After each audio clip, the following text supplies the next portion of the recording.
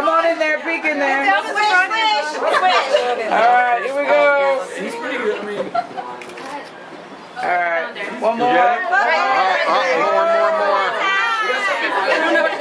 Okay. hey, Brad, what's the address here? 1320 Old Chambers Road. Perfect. Yeah.